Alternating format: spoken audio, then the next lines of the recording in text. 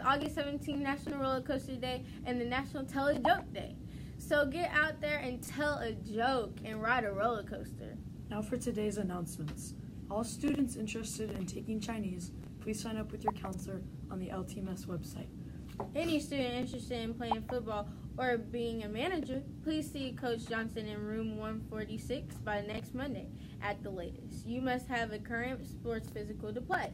If you would like to do the after school program, please return the registration packet no later than August 27th.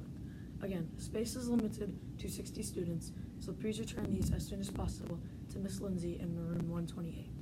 Now for the quote of the day. The best and most beautiful thing in the world cannot be seen or even touched. They must be felt with the heart. You know, if that's true, I should be invisible. Now for the riddle of the day. Each day we will be doing a riddle. If you know the answer, please drop it in the envelope on the bulletin board in front of the library. If you win, please stop by the library to get your prize.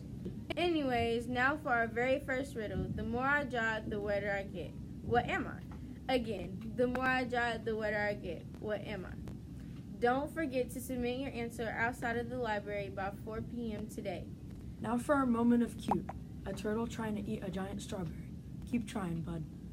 Now for the joke of the day. Hey, Ryder, two pickles fell out of a jar. What did one say to the other? I don't know. Deal with it. Now signing off for the LTMS News is Suze Ryder. And Lahana, have, a great weekend.